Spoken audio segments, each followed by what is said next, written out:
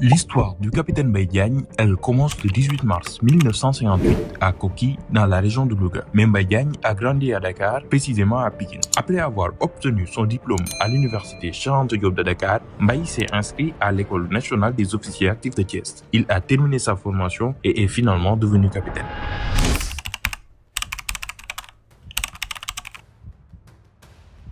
Nous sommes en 1989. Capitaine Baïdiagne reçoit le commandement de la 3e compagnie du 6e bataillon d'infanterie et a été envoyé combattre dans le conflit en Casamance, une période où les combats étaient très intenses. À cette époque, le mouvement des forces démocratiques de la Casamance, dirigé par Salif Sadio, pensait qu'il pouvait obtenir l'indépendance de la Casamance par la force et mener des actions violentes. Malgré la gravité de la situation, le capitaine Baïdiagne et sa compagnie ont accompli un travail exceptionnel dans ce conflit.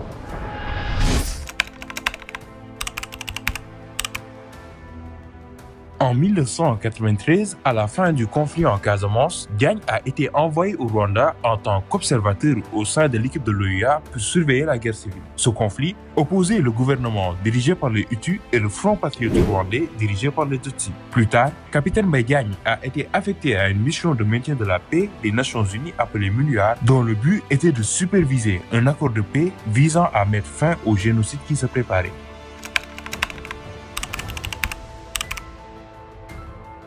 Ce génocide a été causé par plusieurs facteurs. D'abord, il faut savoir que le Rwanda avait une longue histoire de tension entre deux groupes principaux, les Hutus et les Tutsis. Bien qu'ils partageaient de nombreuses similitudes culturelles, linguistiques et sociales, la colonisation belge a aggravé les divisions en classant les Rwandais en fonction des critères ethniques, notamment la taille du bétail. Cela a créé une hiérarchie artificielle où les Tutsis étaient considérés comme supérieurs aux Hutus.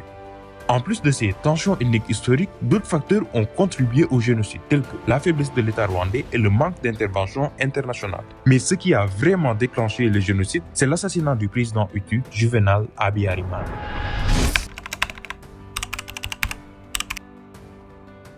Nous sommes le 6 avril 1994. Au retour d'Arusha, l'avion du président rwandais Juvenal Abiyarimana est abattu par un missile alors qu'il s'apprêtait à atterrir à Kigali.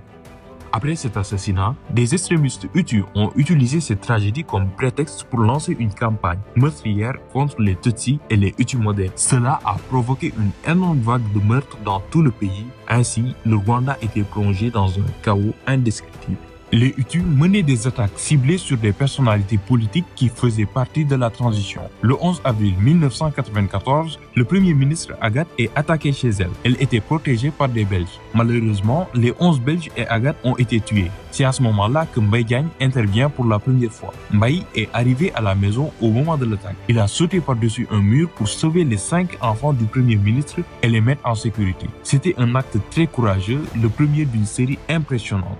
Au début du génocide, les Nations Unies avaient interdit aux casques bleus d'intervenir dans les combats. Ils devaient seulement intervenir quand ils étaient attaqués. Leur job était juste d'observer ce qui se passait. Mais le capitaine Baïdiagne ne pouvait pas accepter de voir les gens s'entretuer sans rien faire.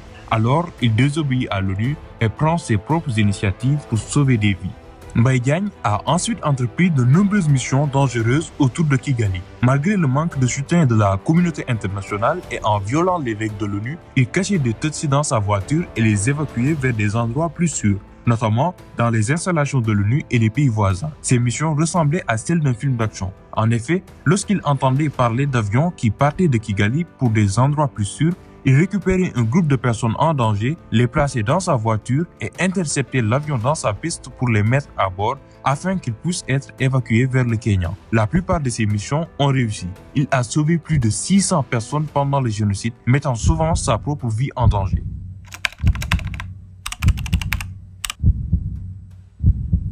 Le 31 mai 1994, Mbaye a été tué lorsqu'un obus de mortier lancé par les forces du FPR a explosé derrière sa voiture alors qu'il était arrêté à un poste de contrôle gouvernemental. Après la mort du capitaine Baïdiagne, un cessez-le-feu de 24 heures est observé. Pour rappel, ce cessez-le-feu a été longtemps demandé par la communauté internationale. Mais c'est seulement à la suite de la mort du capitaine Baïdiagne que ce cessez-le-feu est observé sans aucune demande. Cela montre à quel point le capitaine Baïdiagne était considéré un héros.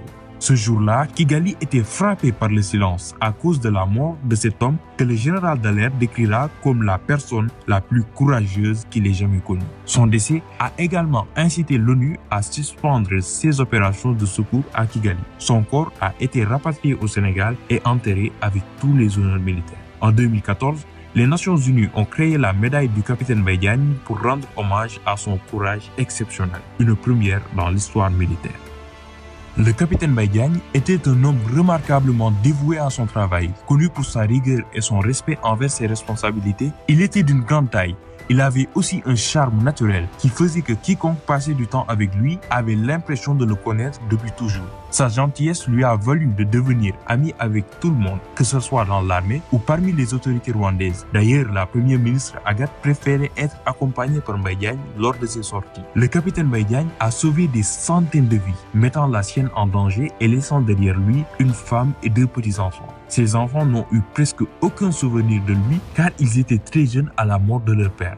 Son courage était presque surnaturel et il a été d'une clarté d'esprit remarquable à un moment où le monde restait silencieux face à l'horrible massacre qui se déroulait dans un petit pays d'Afrique australe. L'histoire du capitaine Baydiagne, c'est l'histoire d'un homme connu pour sa rigueur et son respect envers son travail. L'histoire du capitaine Baydiagne, c'est aussi l'histoire d'un homme qui a sacrifié sa vie pour sauver des vies. C'était l'histoire du capitaine Baydiagne. Nous vous demandons de vous abonner pour ne rater aucune de nos prochaines vidéos. Merci.